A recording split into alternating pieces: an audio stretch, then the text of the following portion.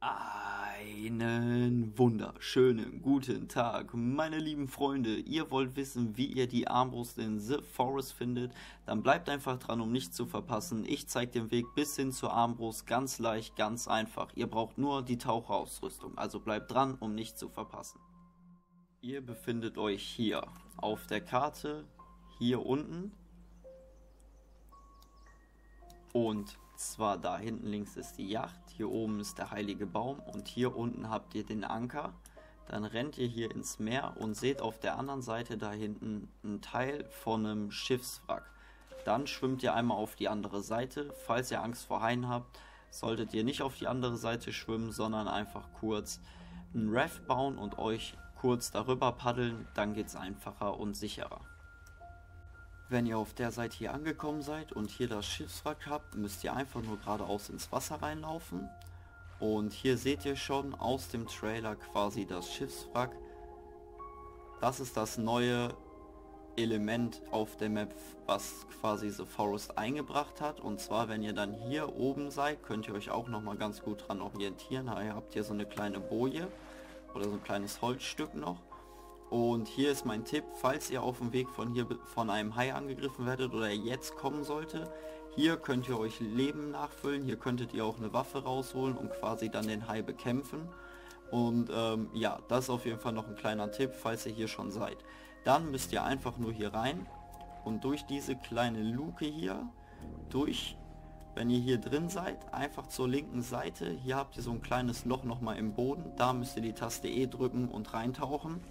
Dann kommt ihr auf der anderen Seite ins nagelneue Cave, was neu eingefügt wurde, plus die Yacht. Hier müsst ihr dann einfach nur einmal komplett dem Weg, wie sonst auch, immer einfach nur folgen. Einmal komplett nach unten.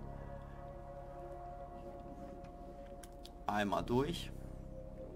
Und wenn ihr dann hier auf der anderen Seite rauskommt, habt ihr es eigentlich auch schon so gut wie geschafft. Ihr folgt einfach nur noch hier dem Weg. Ich hole einmal die Taschenlampe raus.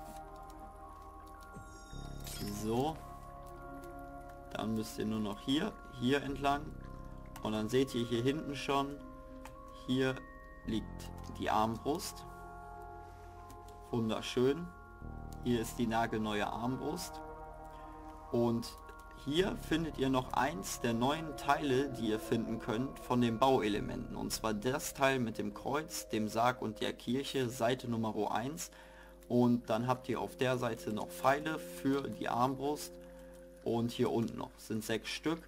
Dann habt ihr quasi die Armbrust, die hier oben im Inventar liegt, plus die Pfeile und könntet jetzt quasi loslegen.